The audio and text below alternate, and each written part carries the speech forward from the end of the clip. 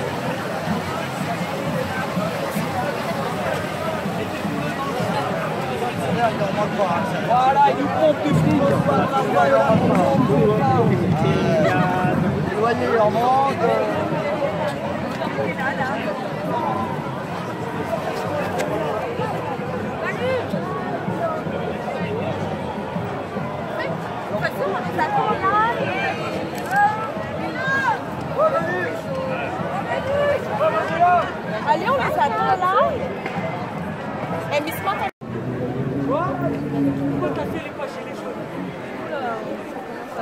les poches